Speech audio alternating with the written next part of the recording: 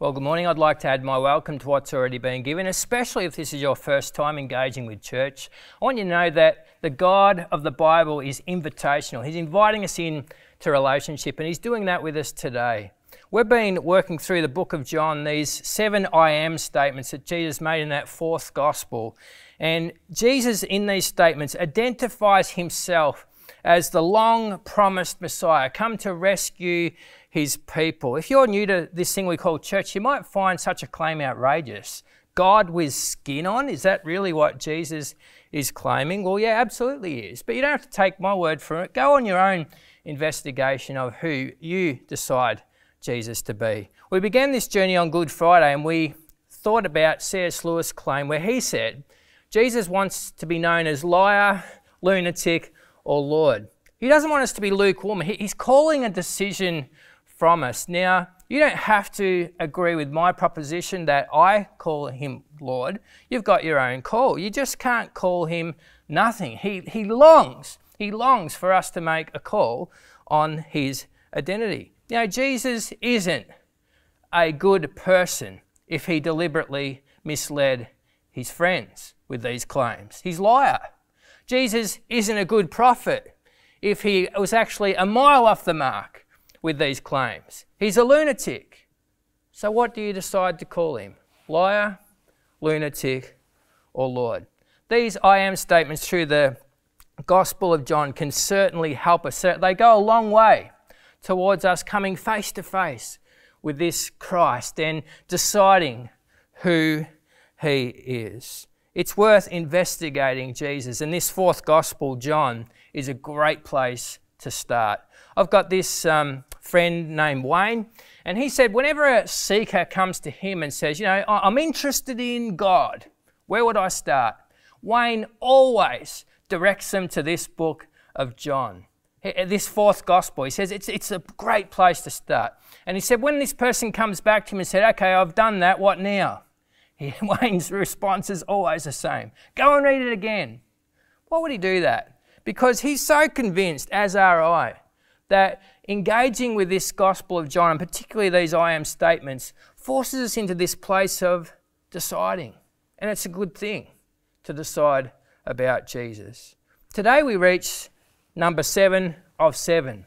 Chronologically, this is the last of the I am claims. In John 15, I am the true vine, Jesus says here. Similar to his earlier statement, actually, in John 6, where he says, I am the bread. The first and the final analogy have the same idea in mind. Jesus is the sustenance of life. He is the place from which we draw our very existence from. But there's a significant difference here in this one. Unlike the I am the bread statement, which was kind of an invitation in that analogy to just be a consumer, just take in the living Christ, here it's different. Jesus says, Yes, I'm the vine, but you are the branches. And so the idea here is we're not only consumers, we're actually producers of the fruit that Christ wants from our lives. And my connectivity to Him is the thing that determines whether I live a productive life or a wasted life. In this regard, it's possible to fake it for a period of time, be an illusion, be an empty shell. Because if John 15 is accurate, true life can only only be found in Him. And so, if a person is disconnected from the living Christ, although they might have an appearance of life, actually, if we came back a week later, a month later, a year later, we'd find that there isn't life there at all. Let me illustrate. Some people's lives look like this. I mean, there's no hiding it. They're dead. They're, they're, their existence is lifeless. Other people's lives bear more resemblance to this. There, there's colour. It looks green and growing. And yet, both of these are actually dead.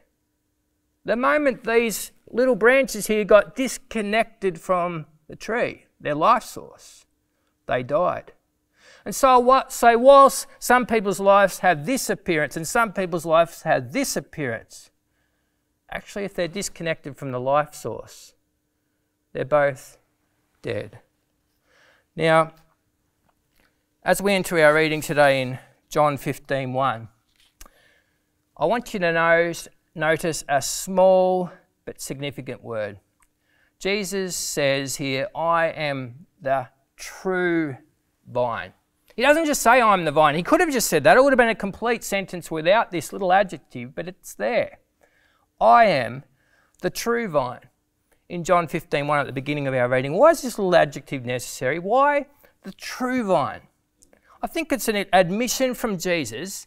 He's not the only one standing in this space claiming to have life, claiming to have a purpose, claiming to be life giving. There's other sources that are begging for our attention too, begging for our investment.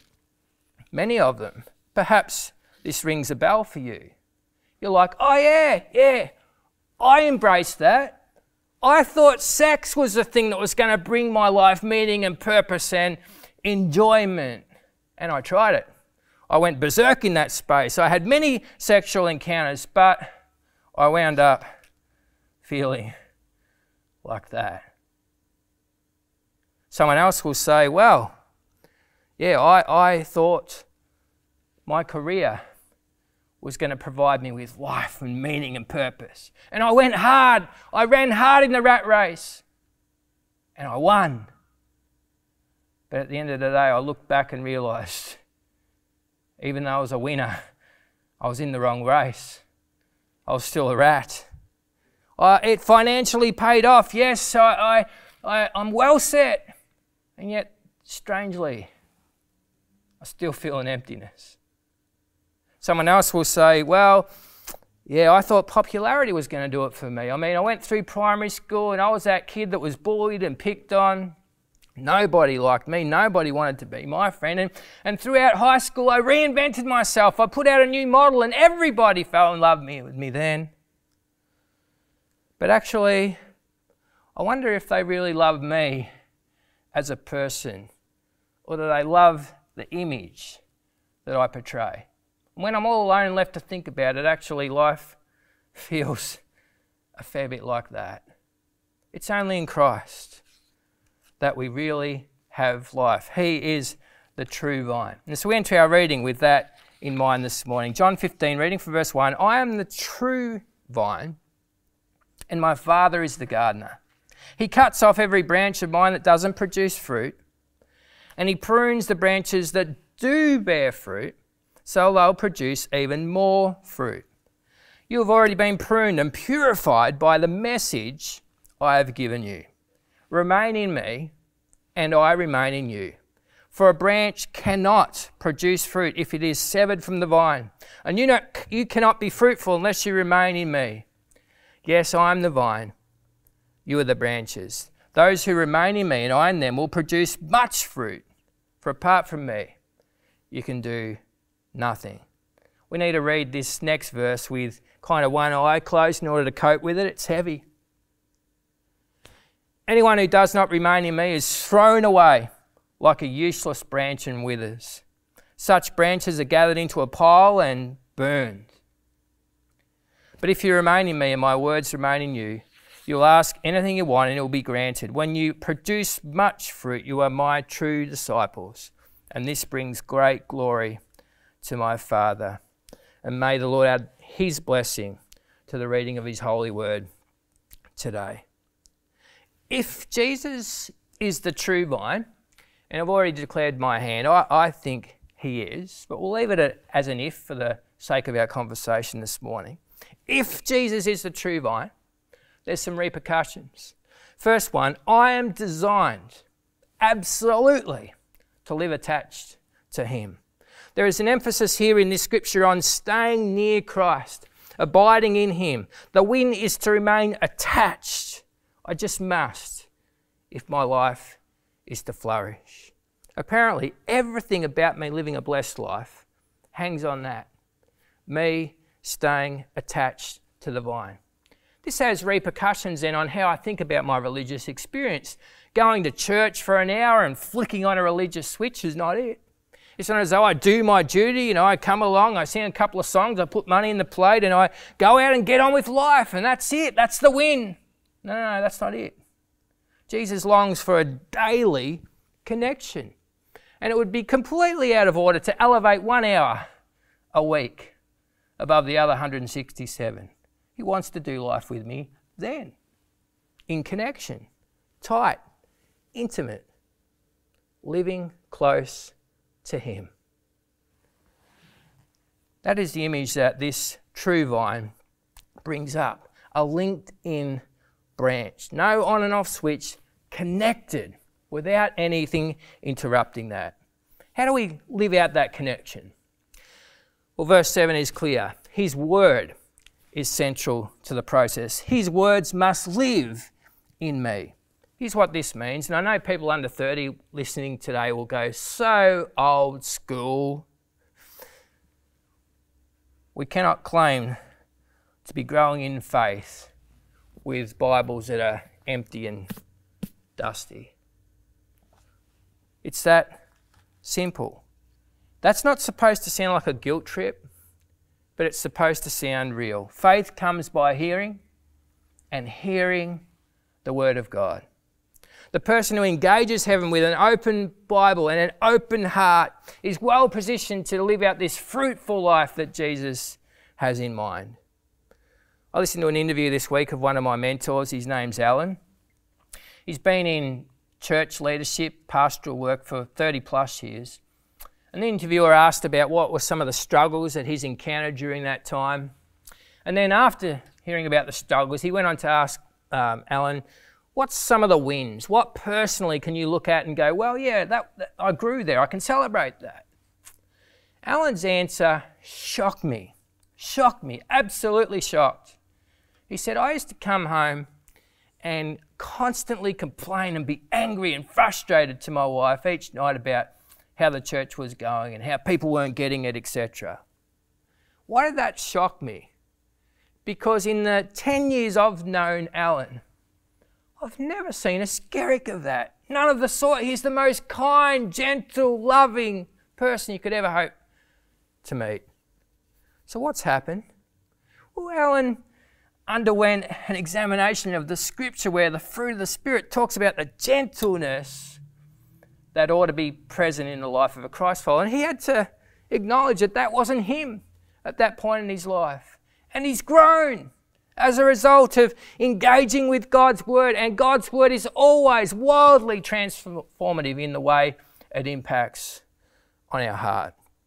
Well, is the Bible the only way I can grow then? No.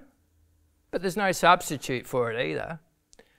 This is interesting for me because I love worship music. You come into my home and my kids will tell you it's playing 24 7. Every spare minute I've got, pretty much, it's there, it's on worship music. And I love it. And I think God loves it. I love to worship Him. And yet, even there, it's not a substitute for the purity of God's Word. Jesus says here in John 15 7, His words need to be my meditation. His words need to come deep and abide in me. And they can't if I haven't first deposited them. I must flood my life with the Word of God. It, it, there's no other alternative. Jesus didn't say here, you'll bear a lot of fruit, your life will go well as long as you can sing. He didn't say that. He said, My Word must go deep. You must stay attached to me via that. If Jesus is the true vine, I must live attached to him. Otherwise, I cannot be productive. I think church people are majorly, majorly, majorly underestimating God's resolve for fruitfulness. It's hardly mild. John 15 gives every indication it's red hot, sizzling. God demands his people to bear fruit, to, to live productive lives. Period. I grew up in an environment that pushed this hard to the point of being legalistic. Legalism is an attempt to live in a godly way without the help of God's Spirit. It's obedience for the sake of obedience. It detaches love from the equation. I follow the righteous way because if I step off the path, well, God might strike me dead, and certainly those in the church will judge me. It's this religious worldview that's about rules and misses relationship. It's legalism. It's a failure to appreciate that everything I do for Christ comes from this place that I am already accepted. I'm coming from a place of approval. I'm not working for that approval. And that was my early church experience legalism. It's kind of go hard or go home. It was a very, very driven experience. It was high on guilt and duty and compliance and low on connection and approval and intimacy with God. Maybe you can relate if you're involved in church in the 80s. What's happened next? Well, whenever we react, we overreact. Well, that's our tendency anyway as human beings. Whenever we react, we overreact. So what now? Well, we've moved from legalism, dare I say, I make this observation carefully, over to laziness. Where it's kind of like no one's asking questions about anything. It's a subtle but severe, severe trend. The mantra now in the average church is you're not a robot. You're not a machine. You don't have to perform for anybody. You're a human being, not a human doing. Yeah? There's this big swing towards not putting any expectation on anyone because we're human beings, not human doings. Well, careful. We could be setting up friends as enemies with that statement. If we go back from the Gospel of John, one book prior to the book of Luke, we have in this account of two sisters there in Luke who, who host Jesus for a meal. So there is Jesus in the, in the lounge room of this family home, and one sister misses opportunity to engage with him because she is so busy doing in the kitchen, preparing the meal and doing dishes, making preparations, etc. So she missed the point of being with Jesus. Now, that's an important distinction that we can't afford to miss being with Jesus. Otherwise, we live very, very busy lives, do, do, do, do, do, but it's just legalism. It's kind of compliance without relationship. John 15 doesn't tell us, you'll be fruitful because my rules are in you. It doesn't say that. It says you'll be fruitful when you get my words in you. It's always relational. It's always a conversation with Jesus. It's a friendship. That was missing in the church of the 80s in my experience. But I wonder if our challenge now is that we've overshot way, way, way, way, way to the other side. We've forgotten about doing anything because we're so emphasized only on being with Jesus. Sure, the story of the two sisters is a warning against missing the being part. And yet, don't miss that Dr. Luke puts this story right alongside the Good Samaritan. Is that an accident? I don't think it is. I don't think it is. See, the Good Samaritan is a prick to godly action. The Good Samaritan story shouts, Do good, even when it was racially scandalous to do so. Do good, even when everyone else has decided it's too problematic. Do good, even when it costs you a ton and is anything but convenient. Do good. Do, do, do, do, do. And Luke 10 positions these two stories side by side. Be a Mary, sit at the feet of Jesus, and be a good Samaritan. Serve your neighbour. See, this sitting with Jesus and this serving with Jesus actually belong together. They're friends. One serves the other. They're synonymous. So our walk of faith is not performance based. Even John says this here in chapter 15 of John. It's positional based. It's about me staying close to Jesus. I abide in the vine. That's my focus. But, but, but, don't miss the spin off. If I do, I'll always be producing. It's never ever a passive thing. We, we have sometimes sort of abiding as an invitation to go and sleep on the couch. Ah, uh, ah. Uh. Abiding in John 15 has every bit of activity attached to it imaginable. It's a prolific life, it's an overflowing life in good fruit as designed by Christ. If I miss this, I'm a branch that's in, at risk of elimination. This is tough. This is what we hit in verse 6. God's appetite for fruitfulness is unmistakable. It's fierce. The branches that are unproductive will not be tolerated. Not only will they be removed, they'll be gathered up and burnt.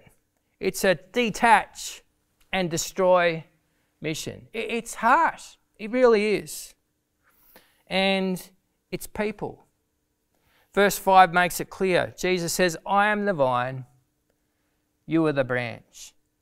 It's people we're talking about here. It's people. It's potentially you and me. They'll be cut off, that idle branch, that idle person, cut off, gathered into a pile, and set on fire. Wow. This is a big deal. What's this mean? Well, wherever we see fire in the scripture, it normally refers to God's judgment.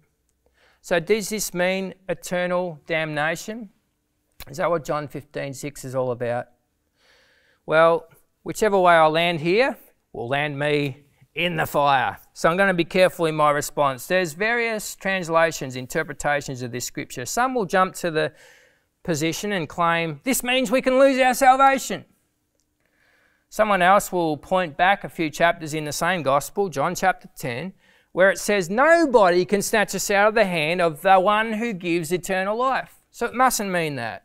So, where do we land on a passage like this? To use country lingo, we could argue about this until the cows come home.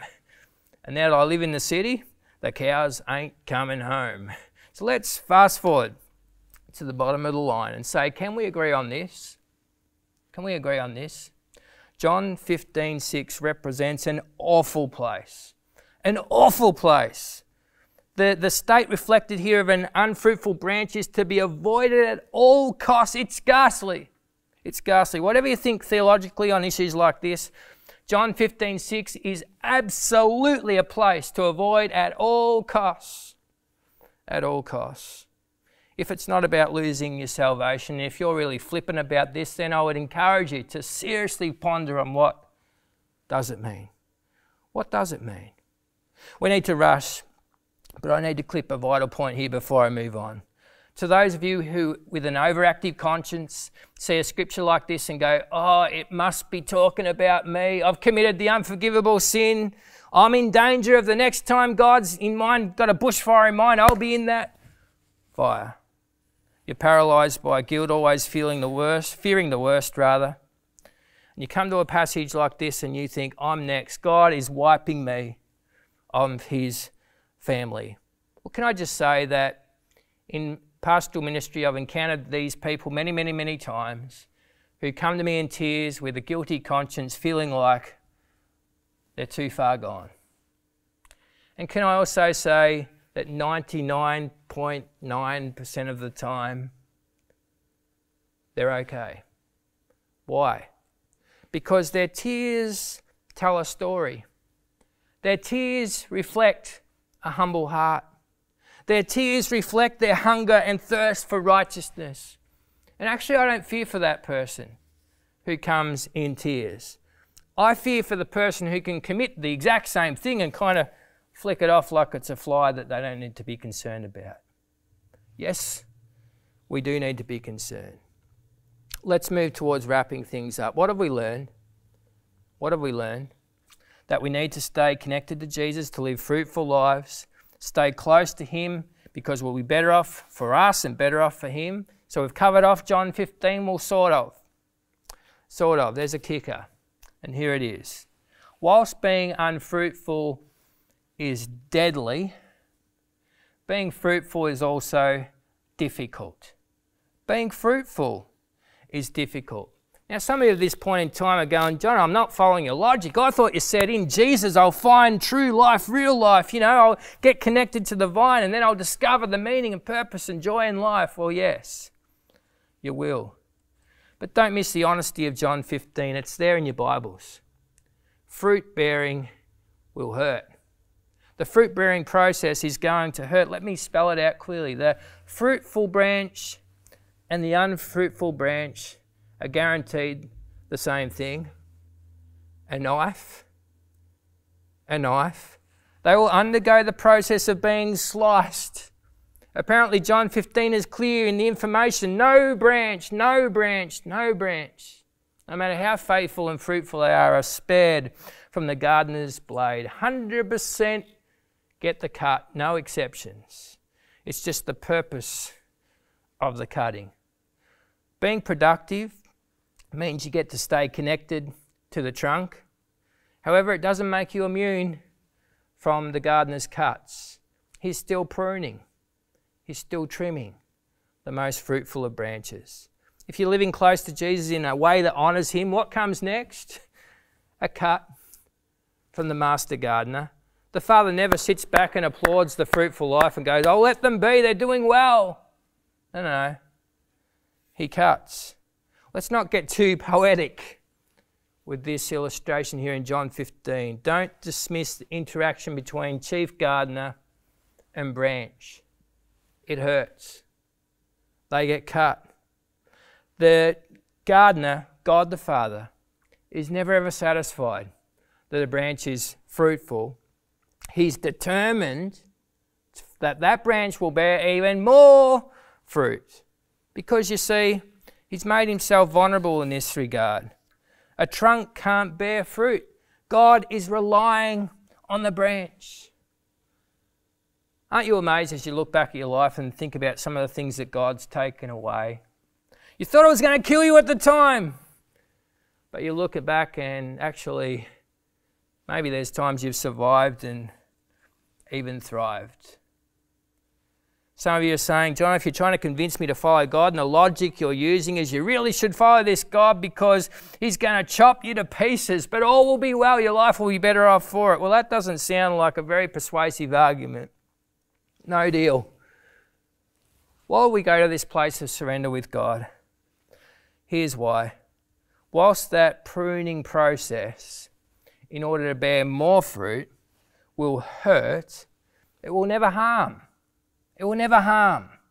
And there's a clear distinction between the two. See, the master gardener doesn't cut to kill, he cuts to bring more life. Actually, will it hurt? Yes. Will it harm? Never. On the contrary, we were made for this. We were made for this. My testimony is every time I've tried to sustain a life apart from the true vine, I end up looking like that. And on the contrary, it's as I surrender to Him that I find life actually takes on a new dimension and I grow and press in to that new season. Church, I love you enough to tell you that following Jesus hurts. It does But that is where real life is found. We were created for this. The Bible tells us so. We were created in Christ Jesus to do good works. And the fruit bearing process, yeah, it hurts, but it's where real life is found. In prayer, we say, Jesus, we commit ourselves to you to stay connected to the vine, even when it doesn't feel comfortable. Lord, be a helper. Give us grace to trust you, to keep going, because we know, Lord, when we trust you, we're safe. We don't need to understand. We can rest. Thank you, Lord.